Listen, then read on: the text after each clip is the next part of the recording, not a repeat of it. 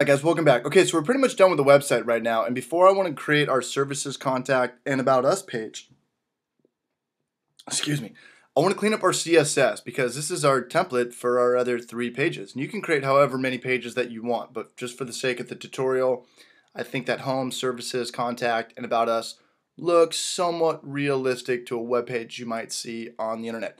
So I need to clean up my CSS, and I'm looking around this is all the way to the right. I'm not worried about it. It should move. There it is. Okay. But my background image, my body background image isn't as big as our content. So I need to stretch this all the way down. So let's go to our CSS page or CSS file.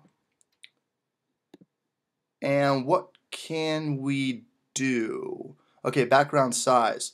Well, this 100%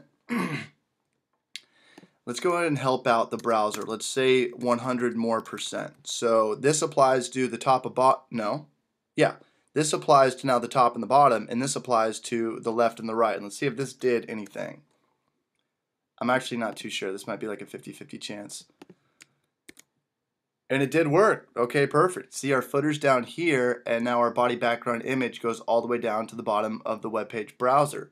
So I think that's all I wanted to do in this video. If you guys have a problem with any way the CSS is, if there's too much of a gap right here, or you want a gap right here, you want to push this somewhere else, feel free. Go ahead and play around with your CSS. But I think that's all I want to do for this video. In the next video, we'll use this web page as the template for our three other videos. So looking forward to seeing you guys over there. Good luck with this.